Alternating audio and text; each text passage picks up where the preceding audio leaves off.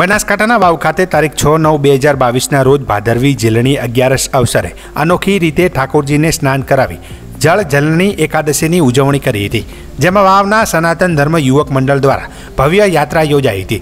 જે યાત્રા વાવ નગરની ચોફેર ફરી ઠાકોરજીને સ્નાન કરાવી અનોખી ઉજવણી કરવામાં આવી હતી. આ શોભાયાત્રામાં બેન્ડ બાજા શિવાજી તેમજ છોટા ભીમ કપિરાજ અવનવી ધાર્મિક વેશભૂષાઓ સાથે અનેક જગ્યાએ ગુલાબના પુષ્પોથી સ્વાગત કરાયું હતું. અને જેમાં સેવાભાવી લોકો દ્વારા પીવાનું પાણી તેમજ પ્રસાદની સેવાનો લાભ લીધો હતો. આ શોભાયાત્રામાં હજારો ભક્તો જોડાયા હતા.